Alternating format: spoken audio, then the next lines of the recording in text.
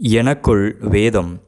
தேவன் அருளிய வேதம் அவன் இருதயத்தில் இருக்கிறது. அவன் நடைகளில் ஒன்றும் பிசகுவதில்லை. சங்கீதம் முப்பத்தேழு முப்பத்தொன்று. கர்த்தர் நம்மை வேத வசனங்கள் மூலம் வழிநடத்துகிறார். வேதத்திலிருந்து நமக்கு போதித்து வழிநடத்துகிறார். அவருடைய வசனங்கள் நம்முடைய கால்களுக்கு தீபமும் பாதைக்கு வெளிச்சமுமாய் இருக்கிறது சங்கீதம் நூற்று பத்தொன்பது நூற்று ஐந்து. கர்த்தருடைய வசனத்தின் மேல் பிரியமாயிருந்து இரவும் பகலும் அதன் மேல் தியானமாயிருக்கிறவர்கள் தங்கள் வாழ்க்கைக்குரிய தேவனுடைய சித்தம் என்னதென்று தெளிவாய் அறிந்து கொள்ளுகிறார்கள். இது வேதாகமத்தை திடீரென்று திறந்து ஒரு வசனத்தில் விரல் வைத்து பார்ப்பதல்ல. ஒவ்வொரு நாளும் ஆகாரம் புசிப்பதைப் போல பசி தாகத்தோடும் வாஞ்சையோடும் திருவசனமாகிய கலங்கமில்லாத ஞானப்பாலின் மேல் ஆர்வமாயிருப்பதாகும். தேவ வழிநடத்துதலுக்காக வேத வசனத்திற்காகவே ஜார்ஜ் முல்லர் காத்திருந்தார்.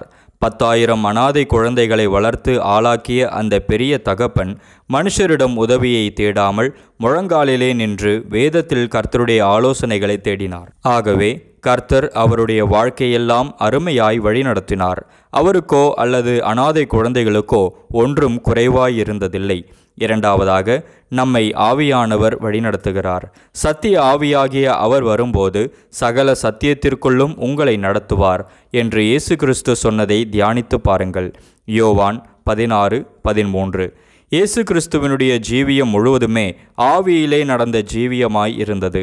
அவர் ஆவியினால் பிறந்தார் ஆவியினால் வளர்ந்தார் ஆவியினால் வனாந்தரம் சென்றார் ஆவியின் பலத்தினால் கலிலேயாவிற்கு திரும்பினார் ஆவியினால் உபதேசித்தார் ஆவியினால் பலத்த காரியங்களை செய்தார் ஆவியினால் சிலுவையை தைரியமாய் சந்தித்தார் ஆவியினால் உயிர்த்தெழுந்து மகிமைக்குள் உட்பிரவேசித்தார்.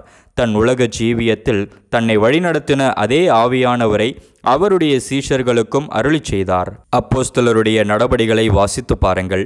சீஷர்களையும் அப்போஸ்தலர்களையும் கர்த்தருடைய ஆவியானவர் எவ்வளவு அழகாய் வழிநடத்தினார் என்பதை அறிந்து கொள்ளலாம். சத்திய ஆவியானவர் ரதத்துடனே சேர்ந்து கொள்ளும்படி பிலிப்புவை ஏவி நடத்தினார். அப்போ சிலர் எட்டு இருபத்தொன்பது. கொர்னேலியோ அனுப்பின மனுஷரோடே போகும்படி பேதுருவை நடத்தினார். அப்போ சிலர் பத்து இருபது. ஆசியாவிலே வசனத்தை சொல்லாதபடிக்கு தடை பண்ணினார். பித்துனியா நாட்டுக்கு போக வேண்டாம் என்று தடுத்தார். அப்போ சிலர் பதினாறு ஆறு ஏழு.